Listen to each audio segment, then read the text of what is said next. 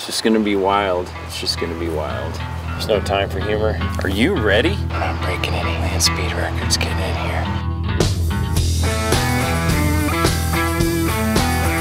here. Six o'clock, and we're gonna go kill an elk.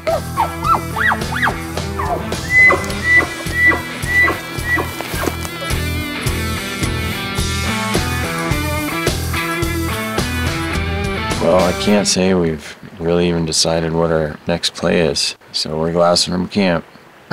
Kind of feels like a waste of a morning.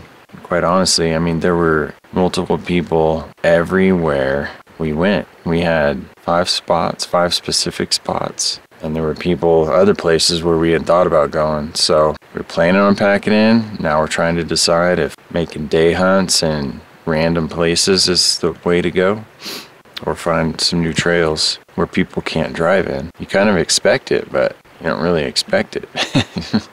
I expected there to be plenty of people. I didn't expect there to be this many, really. But whatever, we'll figure it out. It's funny, I'm glassing this thinking, oh, this could be a sneaky spot. And then I see taillights way up there.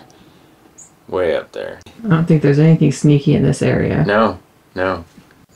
What I want to do in this situation is pack in, maybe go like eight, but we can't. We can't get a bull out, just the two of us, that deep in without getting meat spoiled. It's still 75 in the middle of the day. It'd take us two or three days to do that. Cool. Still at full charge because we didn't do shit last night. All right, we have a plan. We have a plan A, a new plan A, which is uh, plan six or seven or E or F or D.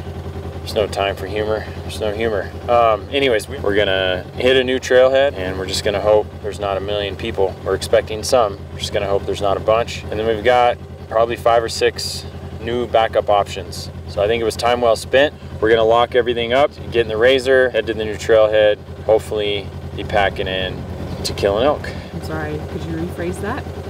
We're gonna pack in, kill an elk, and then pack our shit back out, and we're gonna complain about the fact that we packed in four days worth of food to only stay for an afternoon. We won't be complaining. Absolutely.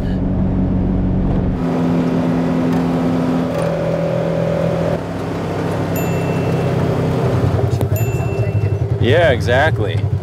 This is this country's amazing. Are you ready? I'm ready. It's just gonna be wild. It's just gonna be wild. All right, folks. Well, plan A for today is about as good as we could expect. We're pretty excited right now, actually. This is beautiful, interesting mm-hmm. country. It's a pretty big area with access to a lot of other areas and not a lot of people here. So we're really excited. Yeah, we're gonna hit the trail. Let's go.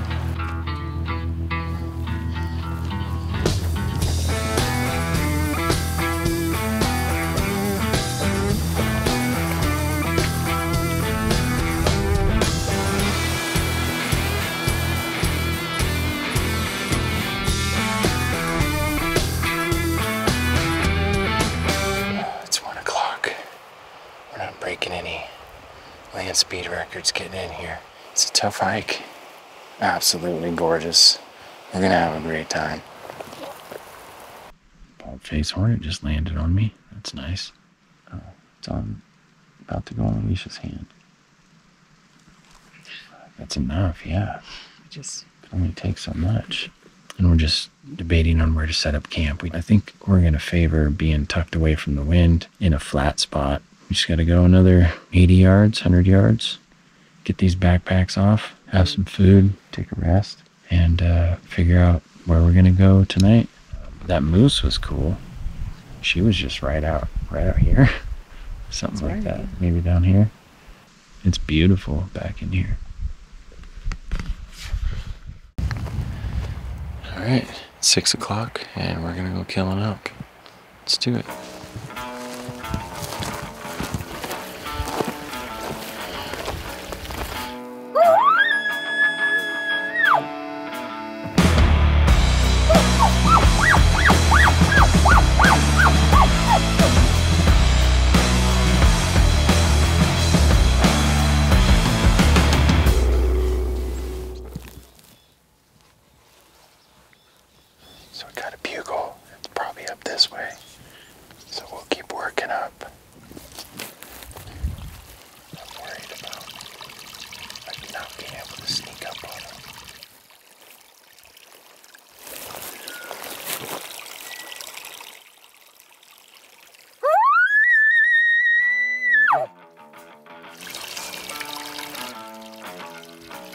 down a little bit.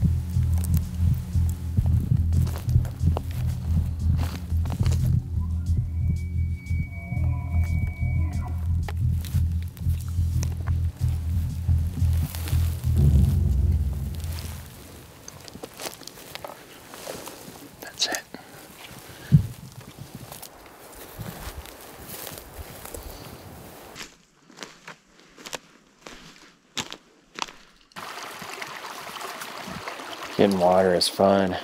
It, it's an enjoyable part of the process. I'll say after a long day, I'd rather just be making dinner right now, sitting down at the tent. But thankfully, the tent is only about 50 yards away, and uh, it's a good night. We left camp about six, and we were getting bugles a little after 6:30. Been on elk entire night that's fun. We got in the danger zone for sure, but uh, it's just thick. And I think if we would have tried to push it any further, we would have got picked off. Turns out he had a few cows. They were chirping a little bit. That was fun. Got to figure out how to get them pissed off enough to come in that last 25 yards.